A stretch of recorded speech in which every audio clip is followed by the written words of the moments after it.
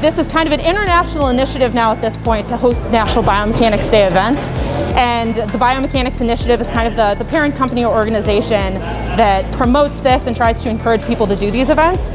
And so very luckily last year we got uh, an award from them to host an event on campus here at Georgia Tech and they allowed us to kind of postpone that funding to this year so that we could get students physically in the lab and kind of show them a little bit about what we do with exoskeletons and prostheses in kind of the biomechanics space. Well, it's really exciting that um, we got invited to come visit and, um, and participate in this, mostly because we have so many kids who don't imagine themselves in an environment like this as students, much less as the academics that they could eventually be.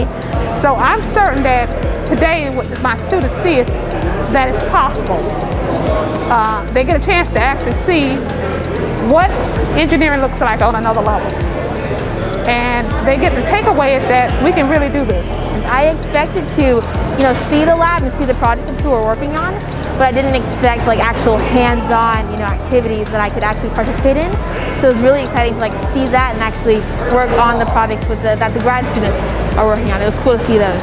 I recently got admitted to Georgia Tech, as a matter of fact, and I'll be coming here this fall semester. And um, I got admitted for aerospace engineering. And seeing facilities like this, obviously all the different majors of all different types of facilities, but it really shows you what this institution can do. I hope that I was able to provide them with some resources and just a connection to campus, right? Something that they could look back at and remember and say, oh yeah, like, you know, Georgia Tech.